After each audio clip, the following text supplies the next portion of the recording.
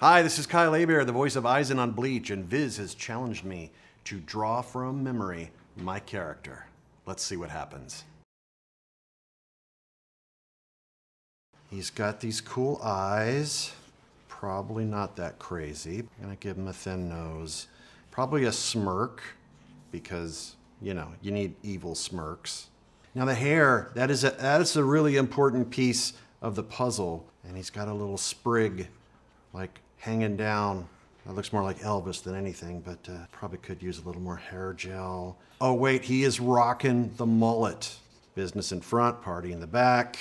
He's so cool, his eyebrow actually extends over his face. It like hovers there. Evil is dead sexy. Picture's worth a thousand words. I don't know what those thousand words would be, but uh, thanks, Viz.